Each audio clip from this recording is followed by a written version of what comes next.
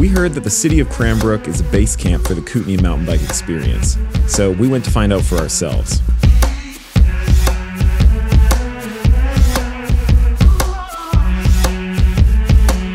Within minutes of downtown, we found incredible trail centers that the whole family couldn't get enough of. With a perfect mix of flow and tech, and knowing that lunch was only a five minute drive away, we were free to roam to our heart's content.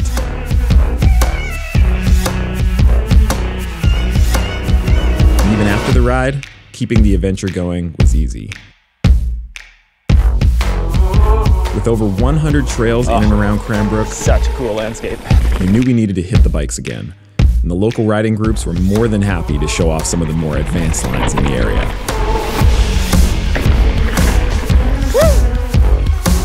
Between the incredible community and the never ending single track, it's hard to say what our favorite part of Cranbrook is. But what I do know is that we're already planning our next trip out to the base camp of the Kootenays.